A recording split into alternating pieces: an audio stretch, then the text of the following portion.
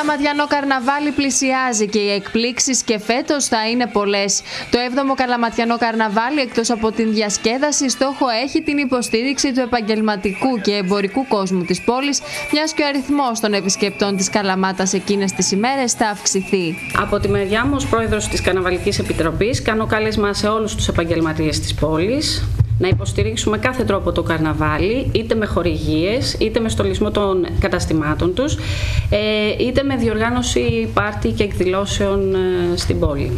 Θεωρούμε ότι είναι ένα πρόγραμμα ε, αντάξιο ε, της μέχρι τώρα πορείας του Καλαματιανού Καρναβαλιού. Είμαστε στο, στο, στον 7ο χρόνο, έχει γίνει πια θεσμός, έχει αγκαλιαστεί, έχει αγαπηθεί και νομίζουμε ότι ε, θα ριζώσει για τα καλά στην πόλη και ειδικότερα στους ε, νέους και στις ε, νέες.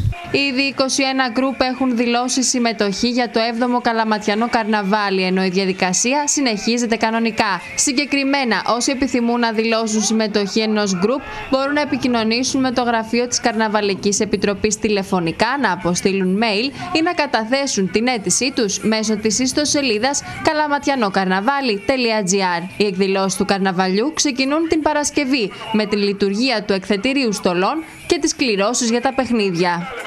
Για άλλη μια χρονιά συμμετέχουμε στο Καλαματιανό Καρναβάλι.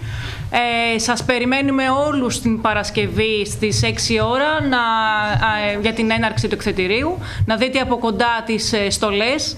Πραγματικά θεωρώ ότι όλα τα γκρουπ ε, φέτος ε, είναι εντυπωσιακές οι στολές τους. Καλούμε όλους όσους θέλουν να συμμετέχουν είτε ως γκρουπ είτε ως εθελοντές να έρθουν σε επαφή με την Καρναβαλική για να περάσουμε τέλεια και φέτος. Η έναρξη του 7ου Καλαματιανού Καρναβαλιού θα πραγματοποιηθεί το Σάββατο 16 Φεβρουαρίου στην Κεντρική Πλατεία. Το πρόγραμμα των εκδηλώσεων περιλαμβάνει μουσικές εκδηλώσεις, καρναβαλικά πάρτι, αλλά η κορύφωση έρχεται με τις παρελάσεις το Σάββατο 9 και την Κυριακή 10 Μαρτίου. Την παρουσίαση της μεγάλης παρέλασης έχει αναλάβει και φέτος ο Χρήστος Φερεντίνος, ενώ θα ακολουθήσει συναυλία με τους Ονειράμα.